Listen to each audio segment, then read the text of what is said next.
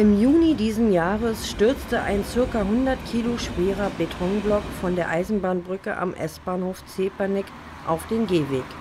Verletzt wurde glücklicherweise niemand, aber nun war es allen klar, hier muss saniert werden. Natürlich war die Sanierung durch die Deutsche Bahn schon lange geplant, aber nun geht es los.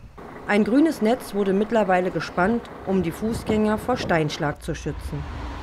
Natürlich wird es während der circa dreijährigen Baumaßnahmen zu Einschränkungen im Straßen- und S-Bahn-Verkehr kommen und einige Umleitungsstrecken wird es auch durch Wohngebiete geben.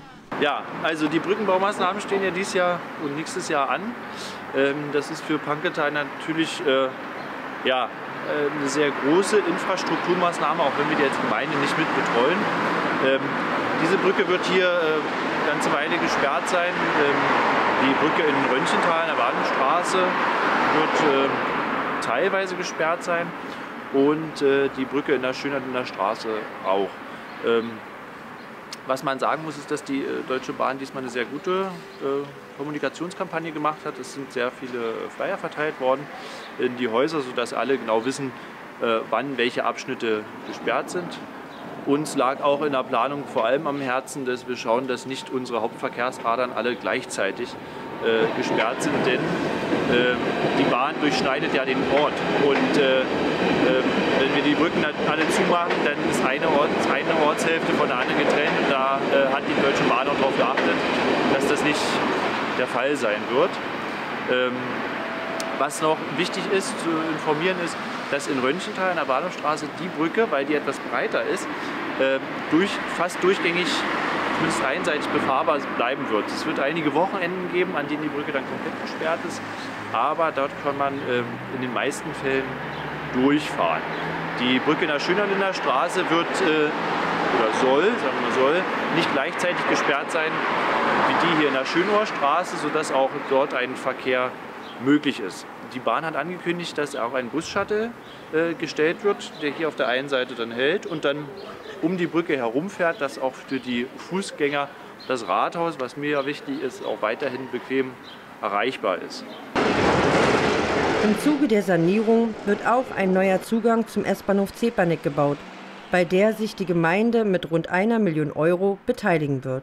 Ja, auch wenn die Brückensanierung nicht zum 10-Minuten-Takt direkt führt, aber auch äh, den 10-Minuten-Takt nicht verbaut, wird es eine konkrete Verbesserung geben für die Infrastruktur. Und zwar wird äh, diese Wand hier verschwinden und es wird ein Durchbruch gemacht werden, sodass man von Rathaus äh, direkt Richtung Zepanik Ortszentrum zu Fuß gehen kann, ohne dass äh, dieses äh, Gedränge, was hier häufig äh, zum Tragen kommt, gerade in den Stoßzeiten, dass das etwas entspannt wird.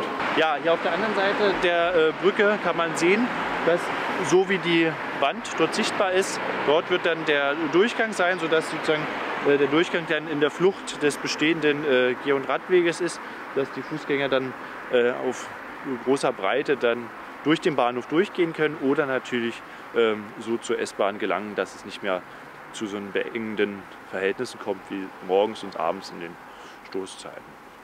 Am S-Bahnhof Röntgental haben bereits die ersten bauvorbereitenden Maßnahmen begonnen. Es müssen Gas- und Stromleitungen verlegt werden, damit die Stahlbewehrung eingerammt werden kann. Die Brücke in der Bahnhofstraße ist die erste, die saniert wird, da diese im schlechtesten Zustand ist. An allen vier Seiten klaffen Risse und die angebrachten Siegel sind bereits gebrochen, was auf eine Bewegung des Bauwerkes schließen lässt. Auch die Brücke am Pfingstberg ist in einem sehr maroden Zustand. Auch hier rostet und bröckelt es. Hier wird es eine Vollsperrung für Fußgänger und Radfahrer über den gesamten Zeitraum vom Januar 2019 bis März 2020 geben.